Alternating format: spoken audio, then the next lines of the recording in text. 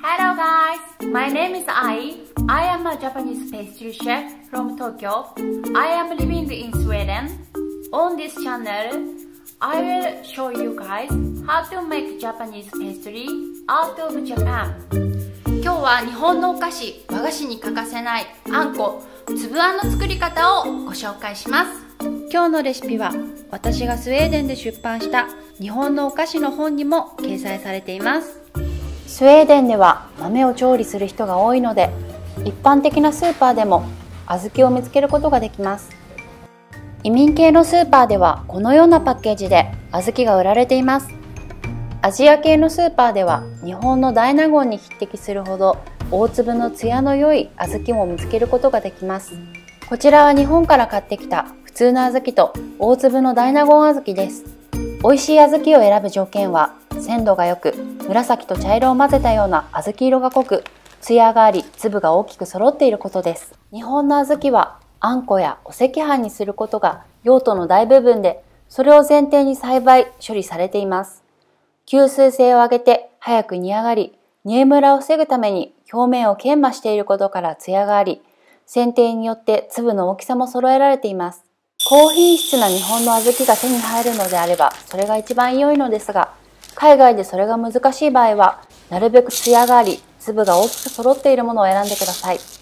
虫食いや変色しているものは事前に取り除きます。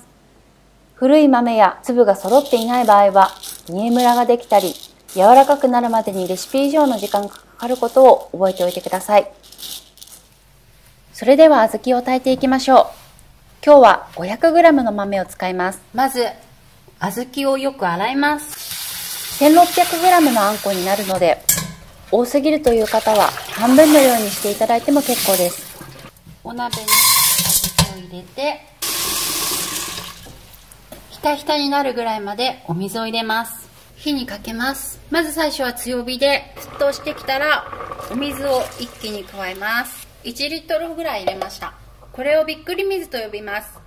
こうして温度を一気に40度から50度ぐらいに下げてあげることで小豆のシワが伸びて豆が膨らんで煮上がりが早くなります。温度を下げるためにお水を入れたので必要のない余分なお水は捨てます。お豆がちょうど隠れるぐらいのお水を残してもう一度火にかけます。一度煮立てます。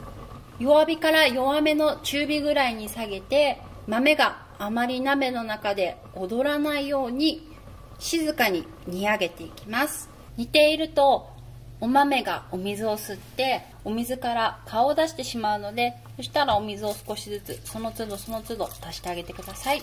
40分ほど炊いていって周りに最初はシワシワだったんですがシワが伸びてお水をしっかり吸ってふっくらと膨らんでいます。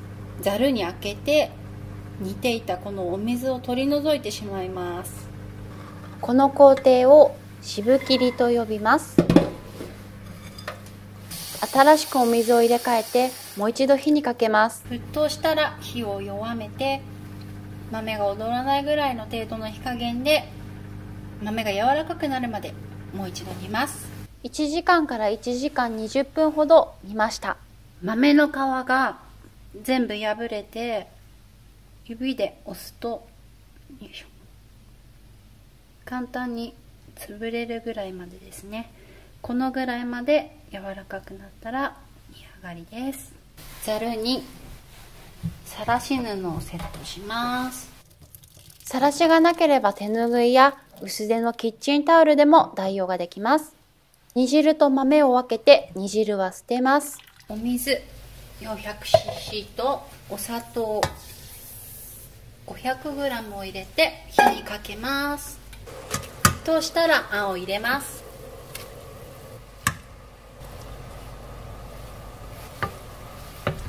沸騰したら火を止めてこのまま一晩冷まします。冷めていく間の過程で甘みがお豆の中に染み込んでいきます。なので続きは明日に一晩寝かせたあんこさんです。かり冷えて中まで甘みが染み込んでいるはずです。日本ですと口当たりを滑らかにするために水飴をあんこを煮る時に入れたりするんですが水飴はですねスウェーデンでは手に入らないのでその代わりとしてこのグルコースシロップですね。これですと普通のスーパーで手に入れることができるのでこれを入れて水飴の代用として滑らかな口当たりにしていきます。50g 入ります。火にかけていきます。だんだんだんだん煮立ってきました。木べらでかき混ぜてあげてそこの方焦げないようにしてあげてくださいはい。ちょっとお鍋から熱いあんこが飛び跳ねてきたりするので大きめのお鍋を使った方がいいですし手袋とかミトン使ったらいいと思います。少し水分が蒸発してあんこが煮詰まってきてますがまだまだ水が多くてシャバシャバ状態なので焦がさないようにそこの方を木べらでしっかり混ぜながら引き続き煮詰めていきます。どのぐらいの硬さに煮詰めるかっていうのは作るお菓子によって変わるんですが持ち上げた時にやっぱり木べらにくっついてくる感じですね。火から下ろしました。例えばあんパンとかと大福とかこうあんこを先に丸めてから生地に包むようなものだとちょっと固めでないとあんこが丸めにくいのでもうちょっと固めに煮上げるんですが今日はですねどら焼きの中に挟むのであんまり硬いとパサパサした口当たりになっちゃうので緩めに仕上げてます。あんこは冷めると硬くなるのでそれも考慮して煮上げのタイミングを見計らってください。バットなどにこのように離してこう山みたいに持ってなるべく早く冷ましてください。つやつやの美味しいあんこができました。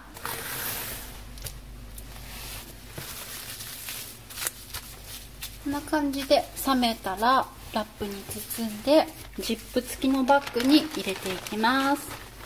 そしてそれぞれのお菓子に使います冷蔵庫の中で5日から7日冷凍庫でしたら1ヶ月ぐらい日持ちします。500g の小豆のお豆から今日は 1600g の粒あんができました。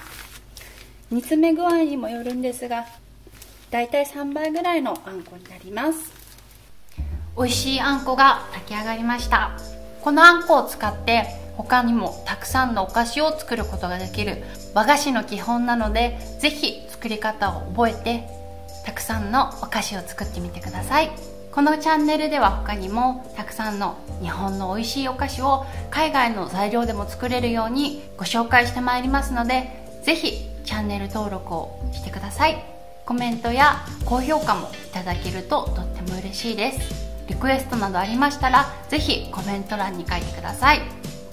それではまた次のビデオでお会いいたしましょう。ご覧いただきありがとうございます。See you on next video! バイバイ